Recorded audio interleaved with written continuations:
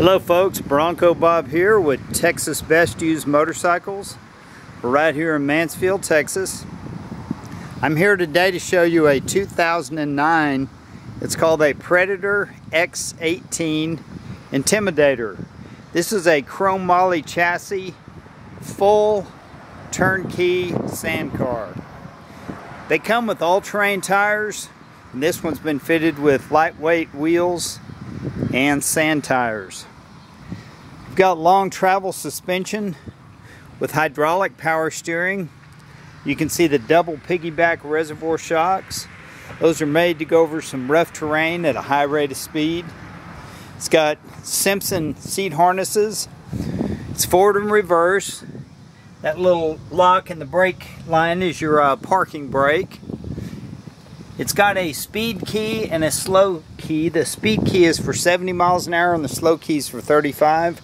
We don't have the slow key, but one could be made pretty easily with a locksmith. There's your fuel cell. Beautiful workmanship. These things are over 30 grand new. Real nice welding. They're all AutoCAD engineered. They're built the same, so they perform, handle, and do what they're supposed to do reliably. This one is fitted with the catalytic converter for California use. It's got an Ecotec 2.2 liter engine that's rated at 170, 170 horsepower. It's got a CVT transmission, which is a belt drive. And you can see it's all open where the belt stays cool. The CV shafts are Porsche 930 style. It's got disc brakes on all four corners. It has been sitting for a couple of seasons, so it needs some fresh fuel and she's ready to go. Got a nice aluminum radiator mounted high to keep that Ecotec motor cool. Amazing suspension travel. I'm going to start it up here in a minute and let you hear it.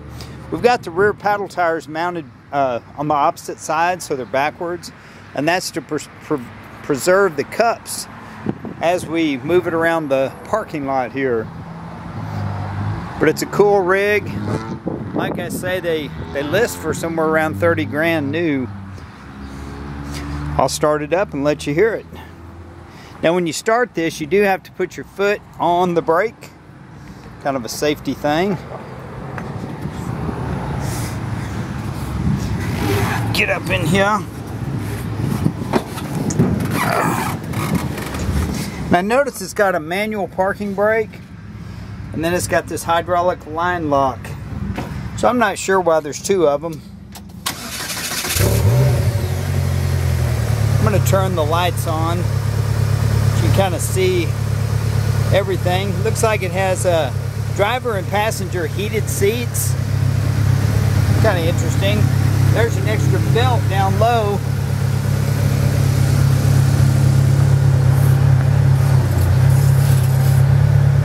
Need to crawl out It's kind of hard to hold the camera and crawl out. But hey, I can do it. You can see the nice, easy hydraulic power steering.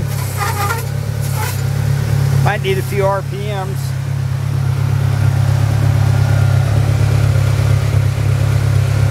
There's your CVT belt in the idle position. Muffler with dual exhaust. You can see the LED lights in the back.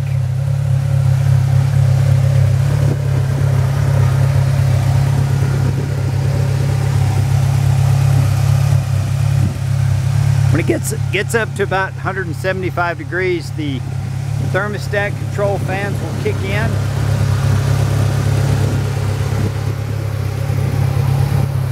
It's quite the rig.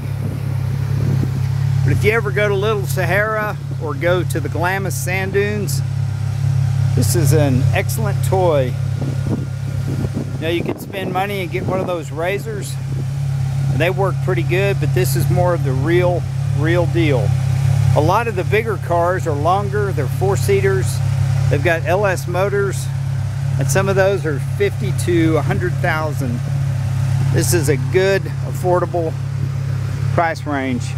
And you can put the skinny Volkswagen wheels on the back to put it in a trailer, because right now it does have a pretty wide track. If you got any questions, give us a call. I'm Bronco Bob with Texas Best Used Motorcycles right here in Mansfield, Texas. Have a great day.